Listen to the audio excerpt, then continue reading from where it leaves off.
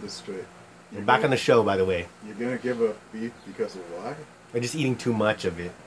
What is too much of it? Where it, it doesn't taste, and it's like, oh, I gotta try other food. Okay. Why, can you eat beef all the time? Can I eat beef all the time? I can eat seafood all the time. I can eat beef all the time.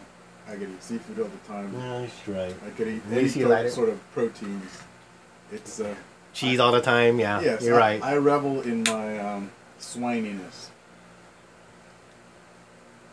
I was gonna say if you're go- quitting beef for ecological reasons, I guess I don't know.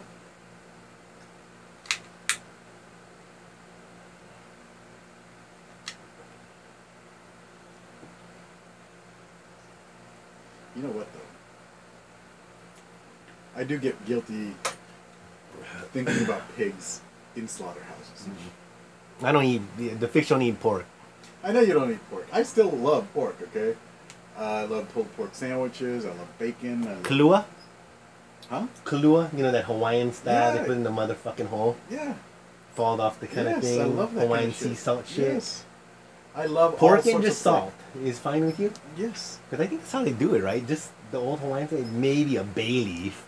but the thing about it is that then you start thinking about how smart pigs are, and you know, you think about a smart animal in a miserable situation, and then you just get all guilty about it. Do you like spam, my friend? Yes, The corn like spam. I like spam skin the best. You know what spam skin is? The real crispy shit. the real crispy little Yeah, people do that. Fry it up. Oh my god! If I could, you know, mandolin that down to just minute, thin strips and fry it up. Fried about 325. I love that shit. Yeah. Because I think 350 Spam chips. Might, might make it too overdone and burnt. I think if you did the spam like that, hit it in the, like 325. Spam mm. chips would be really good. I don't think they'd uh, last very long. I mean, you are just frying up gelatin. It's not Mm. gonna stay in its form very long. But it's still actually, you could still It probably. travel. it, it- oh, yeah, it- I've eaten some old spam back when I used to eat ham. yeah.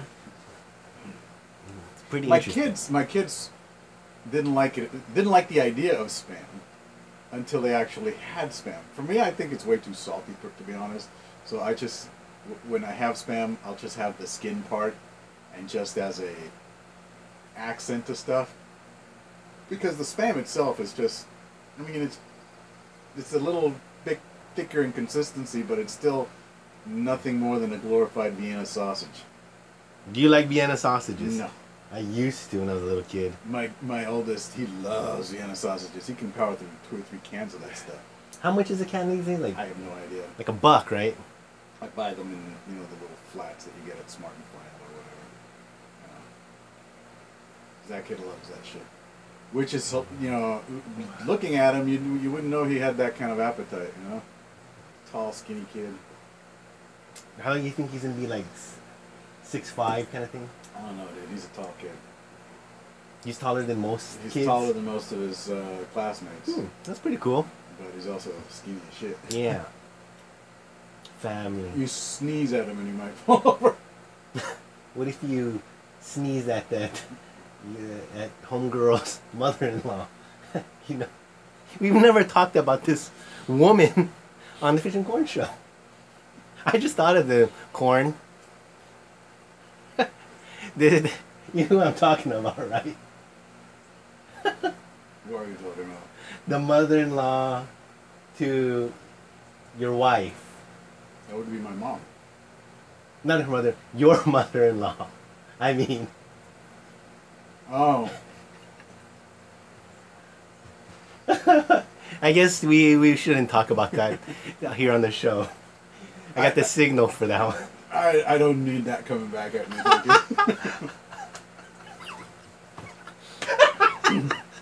I really don't. You know, that's the funny thing is that it probably, you know, and then the wicked wild things, they, oh, they could stumble upon this video. That's my point. oh God, You know, it, it's like it's like when when you're looking, you know, on Craigslist for, you know, a power saw, and you come across a listing of something you sold three weeks ago or something, huh? That that kind of shit. Or yeah, like that one guy who applied to our job. Mm-hmm. You know, Yeah, exactly. It's like, uh-uh, I don't need that coming back to me. it'd be kind of just Oh, sort of. It's not like It'd be they you. hilarious, It'd but be, it wouldn't go away, dude.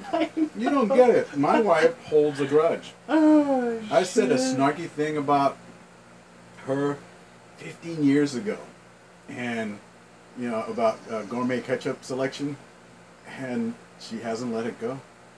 What do you think about that? Well, no, I was being snarky. Uh, you know. About ketchup? Well, no, I was being snarky about her culinary tastes. You know, she wasn't very adventurous, um, food-wise back then, and I was being a jackass, and I said, "Would you prefer a uh, Oh, gourmet selection of ketchup?" Ah. And that, yeah, uh, that, that was unnecessary. But this could be in the other sense too. Uh huh. It's just it comes back to haunt you, dude. Yeah, but interesting people. Interesting people that we we will keep them hidden, I guess. But they are Uh, Yeah, very that- interesting people. They you don't get off the porch, man. I mean, back on the uh, sidewalk there. But anyways, where are we at? Oh, we're at six and a six and a half minutes. We have uh, four more minutes with you guys. Six and a half minutes? Really? Woo! Oh yeah, that's because we had that phone call in the middle of it. That is so crazy. We're here at the Fish and Corn Show. you know, it's, this is like sounding like one of those uh, QVC because you know a lot of the shit.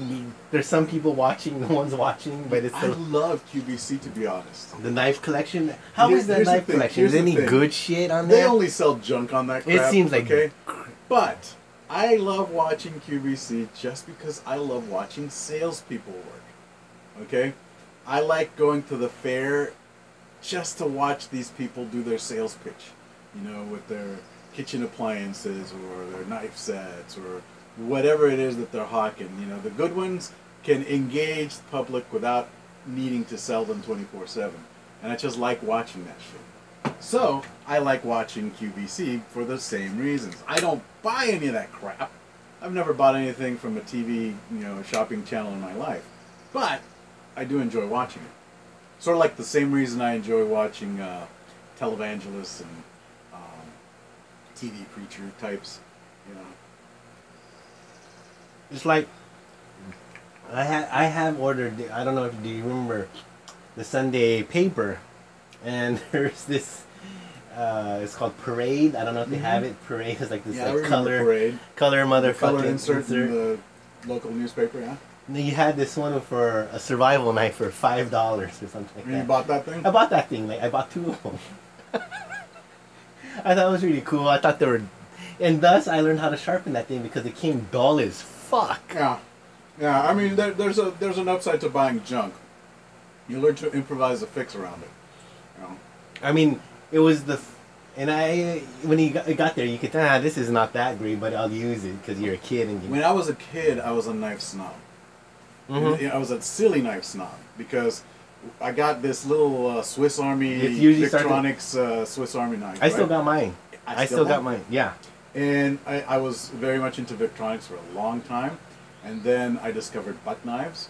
And then I was a buck knife guy for a very long time. I remember that. And, you know, a Schrade, those little pocket Schrades, uh, those, you know, two blade things. I love those things. I don't, I, I'm not necessarily into the, the whole Mall Ninja stuff. I got into the Mall Ninja stuff later on, you know, but only because it's kind of ridiculous. But cheap. it's it's shitty. It's like Chinatown. Yeah, yeah, yeah. It's crap you shit. buy at the, the TJ Curio Hawkers or you know Chinatown, you know um, stores uh, for tourists and shit. It's nothing that you're you're actually going to use, but still fun to play with. Do you think you ever have? Uh, no, you do have some straight blade ones. I have a couple of fixed blades that, that I like. Swords. But I, I, I just use them for like the sword I use is a machete. It's kind of cooler looking than your average eight dollar Harbor Freight machete. You know, but I use it for the same thing. You know, chop up vegetation and shit. Are there any people making, um, and it doesn't have to be Japanese, I'm sure quality katanas. Can you? How there much are are plenty they? of people doing that kind of crap. Really? It's, How much it's we talking? absurd. I mean, you, you can get into one that's machined nicely for under a thousand bucks, and then it goes into the thousands. But It's there absurd. are people doing it, right? Yeah, it's it's silly. You shouldn't pay more than eighty bucks for any of that shit. okay, it's just a piece of metal. Yeah, I know, but they Mhm. they do have small batch kind of motherfuckers. Yeah, but it's a, it's a consumable tool. It's it's you know how many shears are you gonna buy in your life? I assure you, you will buy more than one. You know, And are you gonna be in buying? Oh, corn. Did you get that uh, that message that of the new Kirkland whiskey for 1.75 milliliters for twenty five dollars? I I've been haven't making my old fashioned. Where'd you see that one? Where'd you see that one? That's in Michigan. Uh, no, uh, must have been um, La Mesa, La Mesa. Okay. the Fletcher Parkway, whatever one. Yeah, I never go to that one. But they Because I hadn't have seen that one on the East Eighth Street one. I hadn't didn't. seen seen it at the one by Mhm. the IKEA. Just so- recently. But you know what? The uh, they also have a 1999 Uh-huh. small batch. They do have a 20 bucker now. That's of the regular size. See, I like that. Keep your liquor costs under twenty bucks, and you'll you'll make you a get quality. If you get it at Kirk, yeah, Kirkland. We're Kirkland drinkers now. That's pretty sad. All right, 11 minutes. We'll be right back. Oh, and we'll we're gonna come in on a. We have a different intro for you guys. Stay tuned. Stay tuned. I identify with the young dog You identify as a goat. as a goat.